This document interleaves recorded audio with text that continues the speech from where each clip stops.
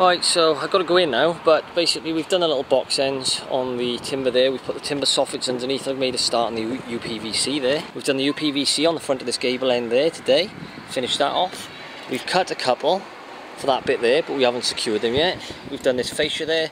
And while I've been doing some of this work, Big Pice has just been getting on with the gutter and we're replacing all the gutter with black because it looks a bit tidier. So you can see there, he's done all the downpipe down there. And if you look over there on top of the garage roof, basically we've got the downpipe in black and then we run all the drainage off across the garage roof and into the gutter that runs along the garage down there. Just another day, I'm going to get back on with the soffit board up on that rear dormer, so I'm going to get on with that now.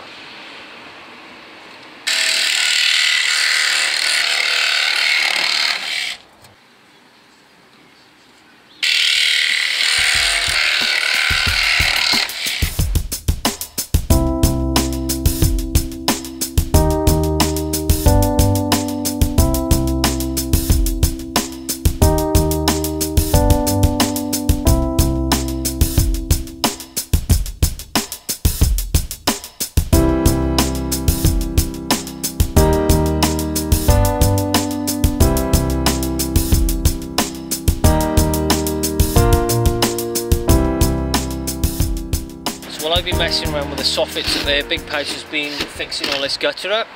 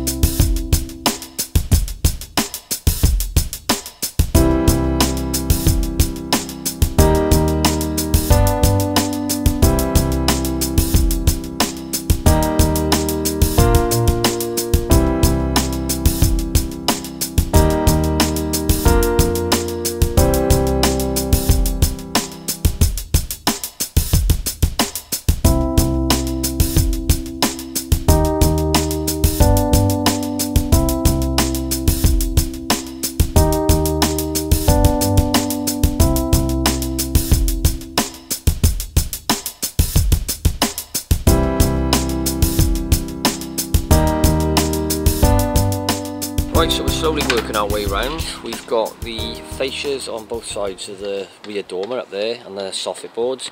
We've done the fascia today on this one, we've done the gutter, get the drop on that.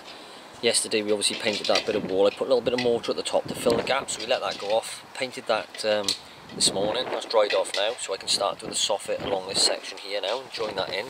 i got to wait for some more materials for tomorrow, so we can do that fascia. Um, obviously all the corner trims and that like on these bits here um, I got a few of those to arrive yet but we're going to start doing those bit by bit just finishing things off so it's coming along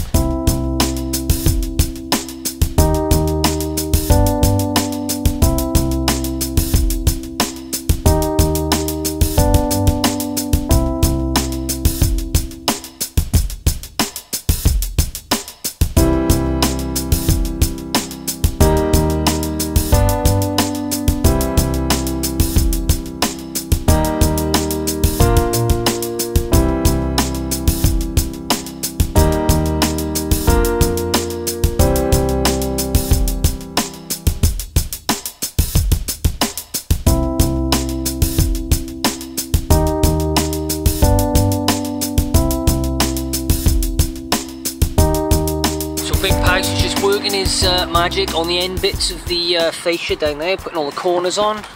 We've done these nice little box ends now. You can see we've done the one over there as well. Fascias, soffits. Now is all we're left to do is walk around here and we've just got to do a little bit over there on the rear fascia. We've got to do that tomorrow when the materials turn up. But all the soffits done over there now, ready to be covered over. Um, this bit's all done, we had to cut a little bit around the flue of the boiler and then put a little connector plate over the top, so that's all done, so it's all looking good now. So it's the next day, we're back, it's just as well I did all that painting yesterday because we have had rain as predicted. We got Big Pice over here now, he's going to crack on with some gutters downstairs, nothing to do with the roof or the loft conversion, just while we're here we're going to change the gutters to black, give the house an overhaul. Um, obviously you can see that wall's not finished there, we're going to have to knock that off and give that a, a re-render at some point, probably in a nice lime render, which we'll do um, probably for you in another video at some point.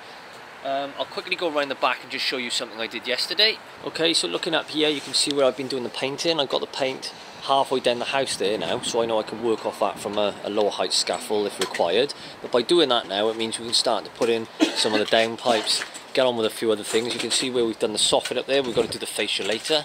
That's our rear dormer up there, so we're going to do those fascias once the windows are in, because we need to do the soffits up to those. I've probably explained that before. A few little things to finish off today. But for now, across this back bit of the house here, big house is just trimming a bit of felt down. While we're here as well, giving a bit of an overhaul, um, we thought we'd slip some felt support trays underneath there. Uh, the reason for that is this roof was actually done by a roofer a good few years back. Um, and he didn't bother using them then, so we're just going over and putting those in just for belt and braces. So uh, let's set this up and you can watch Big Pius change the gutters over.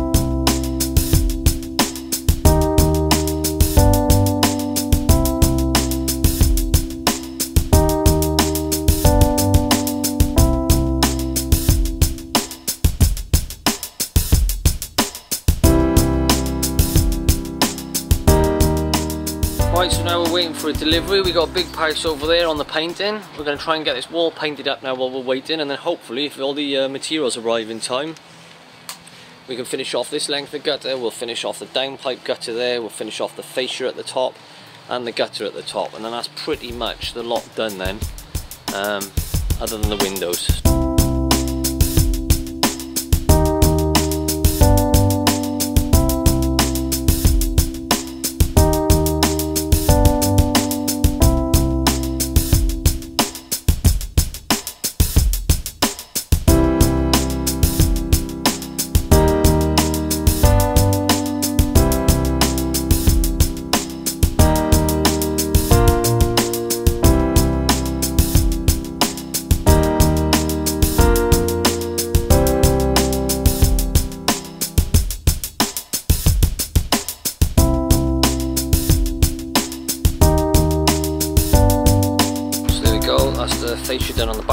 Now. We've joined back into next door. That's the gutter done. We put a little shoe there, turned it back out, just hidden that under the lead. And you notice in there that I did the same as the other side, put like a, a kind of lead soaker, I guess, which I nailed to the timber fascia before putting the UPVC on. And that just means that the water then, if anything does get down there, which I doubt it will, will just run off down the roof.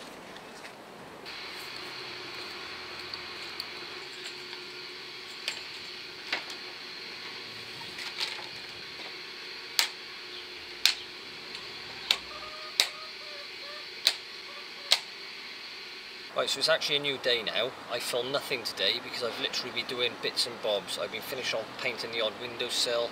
Um, I've put the odd little bit of gutter back in. I replaced a bit of gutter. We got sent the wrong bit from the building merchants and it sort of fitted but it was loose. So basically I replaced that. They turned up this morning. So I've been doing odds and sods. I've been washing the my little roof downstairs with the old Velux windows, nothing to do with the loft conversion, but with the scaffolding's been on it, it was disgusting, so I just gave it one last final clean. I've been tidying up the scaffold, getting rid of all the mess because hopefully some point um, next week in about three or four days the windows will be coming. I'm not fitting those myself I could have done but I've got to get on with it. The scaffolder wants the scaffolding so I'm going to pay for a price for uh, the windows and fitting and then once they're in I've literally just got to go around finish off the soffit board on the two dormers which will basically butt up to the windows which is why I've got to leave that Anyway, I'll go around now and just show you quickly what we've done, all the guttering, bits of fascia and whatnot, so you can just see, and this is pretty much other than the windows, the last final bit, then a bit of soffit, then that's the outside done. That'll be me and we'll be back on the inside for good then. So a quick recap. Rear dormer, we're not putting gutters on there, no need. The roof's so small we're going to let the water run off onto this roof, so those are done on the fascias. Um, the front fascia, can't think now, you don't call that, but on the gable end, they're cut, they're inside, ready to go. Same as the, the soffit underneath. I can do that once the windows are in. But all the timber's on now anyway, other than that little last bit that'll butt up to the window. So that's that sorted. We've got exactly the same on this side dormer. I've put in one length of soffit board there, timber, but once the windows are in, we're going to have to fill it up with a thin strip, and then same again, put the UPVC uh, soffit underneath, then fascias over the top. Again, the fascias, I've already cut those, so they're inside waiting to go, so that should be nice and simple. Obviously we've seen in the past all the gutters are on now. Gutter all along there. And the, the front of the house you should have a gutter down going onto the driveway but I don't like that because I had my driveway done a few years ago and uh, I don't want water running over there so I had it diverted onto the garage. Um, so anyway so it comes around the corner there. If you look down at the garage I think I showed you before we've actually taken it into a pipe there big Pius to this curl it out and by using um, a, I don't know, it 89 and a half degree bend, basically it's the same slope as my garage roof. So that just slopes down right through a tube there then and it just turned off down there and back towards me in the gutter that runs along the garage. So that's brilliant. So the garage roof isn't getting any water on it at all now from the from the gutter, which is good because it's an EPDM um, roof excellent roof but you don't really want to be concentrating a, a point source of water in one place because you'll probably find it'll start to I don't know just lift and the adhesive may come up underneath you know just because it's getting cold all the time. It's just not good for it. You're better off keeping it dry. But that roof a few years old I got some footage of that which I may try and show you. It was in the early days before my channel was up and running. So if I can drag something out I might try and do a voiceover on that on the bits that I've got. Anyway I filled up the ends with uh, cement of the corner ridge tiles. You saw me do this one the other day. By here um, we've obviously done this end. Roof this has been a big job. It's taken us about ooh, when did we start? Last week. So it's only taken us a week but we have been going more or less flat out with that. And this was start to finish insulation. Uh, well we ripped the old slates off put the insulation in new felt and we built this overhang which we mentioned because obviously this house just used to go flush uh, straight up there. Um, so yeah, nice little overhang there, that's worked out nicely. We've got nice little box ends there, which Big posted. One on the end there, one on the end there. Um, so yeah, that all looks lovely and neat now. Coming around here, exactly the same. We've done our gutter now on this side, connected up with next door. Um, had to use my joints here because I'm using Brett Martin guttering is what the building merchants have supplied me with. Now they are not compatible with FloPlast but they're slightly bigger so if you use the Brett Martin joint you can sit the FloPlast inside it. If you do it the other way you won't actually get the Brett Martin gutter into a FloPlast clip. It'll just sit up slightly so there's always a risk of it leaking. But that seems to have worked okay because we've had a lot of rain and there wasn't one leak. Right, so that's that sorted. Again, I've just done a little shoe there to run out. A lot of people just drop those straight out, which I'm sure is fine, but I just didn't want it going straight down on the slate to fire it out towards the gutter. And then we've put this gutter in here. Now, I know none of this bit is part of the loft conversion. I just thought it might be interesting to show you. Finished this off this morning. I've got my downpipe there, and that goes down there into the drain. Then we've got that rough bit of wall downstairs. If any of you have seen my previous videos, you will see I did um, one on some damp. Now I've never actually, I've rectified the damp by taking the render off and lowering the path down there, but I've never done anything with it and I think I've got a plan for that, so that's another video. Then as you look down there on the roof downstairs, again nothing to do with the loft, but I've just been giving the, um, the Velux windows there a really good clean. All this roof was stinking, so I brushed it down, I've washed it. We put that new length of gutter across there because we used to have white, um, so I've just replaced everything basically all to be matched in. And the other thing I've done then, as you come back around here, I've given the windows all a clean today and you can see I painted the windowsills brown there, one below brown because they're the old, um, they're basically roof slates those, or roof tiles. The rosemary tiles, you can see there. So I painted all those brown, cleaned the windows. The other thing you can see is I've given all the scaffolding a really nice clean, there's nothing left up here now. Same on this side, all nice and clean, ready for the scaffolders to take it away and I'm hoping they're going to give me a few more days so I can get these windows in and then they can help themselves. So apologies, these videos are getting a little bit bitty at the moment, but that's just the nature of doing a loft conversion yourself because I'm trying to live here. I've been trying to put off the things that don't need doing right to the end. You know, things like the guttering and that, we've just got to get it done now because I've basically given the house an overhaul as well, so nothing to do with the loft conversion, didn't have to do that, didn't have to reslate the whole roof. But basically, while I was up here, I think, may as well do it now because, you know, do I really want to be coming up here again in 15 years to do all this? Probably not, so just do it all now and that's my lot done. Right, so it's a new day, we're back on the roof and today should be the last day working on the outside and now I'll show you why. Because that little beauty is in and so are the two side windows as well. So I'll go and show you those now. Right, so here's the side windows. As I kept explaining to everyone, but probably no one knew what the hell I was talking about, they've gone with the shape of the roof there, so right up to the top. So we've got a lovely view out of there and really today's work on these windows and the one on the rear dormer is simply finishing off this soffit board into the window frame, the timber. So we're going to cut that down to size, fit it into place, same there, same on the rear dormer, and then we're going to be going over with all the UPVC soffit board. We're going to be doing the box end with the fascia, and we've got our pre-cut fascias which are actually in the loft at the moment. I'll bring those out after, and we should be able to tack those straight on, and uh, by the end of the day, hopefully this will all be done. And if you just look over there at the rear dormer it's exactly the same. I've got that little bit at the back to do in timber then a UPVC soffit board fascia over the top and that is pretty much it. So uh, fingers crossed. So there's not going to be a lot of explanation today because it's pretty straightforward. It's just cutting timber to size screwing it in. We're going to be cutting the UPVC to size screwing it on nailing the fascia board just like I've done on the rest of the roof so I'm probably just going to speed this bit of the video up show you exactly what I'm doing and I'll give you a quick overview at the end because like I said this is the grand finale on the outside technically today um, everything's done I've painted the house new gutters ridge tiles slates felt insulation, the whole lot, including the bits that haven't been on the loft conversion. I've even put gutters downstairs if you've been seeing me doing previous videos. Not specifically the loft conversion, I appreciate that, but I thought I may as well show you while I'm doing it. So the house has had an overhaul and um, like I said, hopefully I don't have to touch the thing for another 20 years.